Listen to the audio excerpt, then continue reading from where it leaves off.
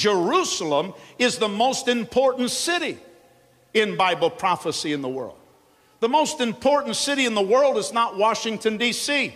It's not London. It's not Paris. It's not Rome. It's not Beijing. It's not Moscow, but Jerusalem.